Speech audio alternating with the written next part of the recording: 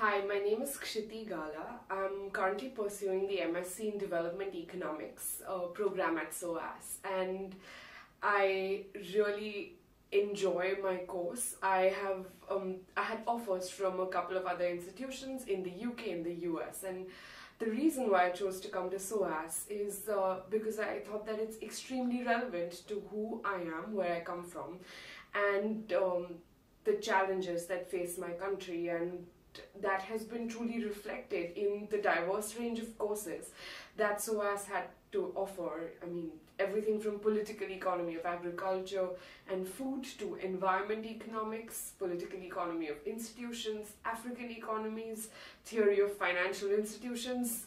Um, yeah, I mean, there's a whole list. But what I really like as well is the fact that um, we have a very strong foundation in microeconomics, in macroeconomics, growth and development, quantitative methods one and two. So it's um, it's really giving us uh, the course is giving us multiple perspectives to economics and how it has evolved. And I think the strong foundation enables you to have a career in government, in the development space, in the private sector, and of course in research and doing further studies like a PhD. So I think it's a very good course and I'm very happy to be here.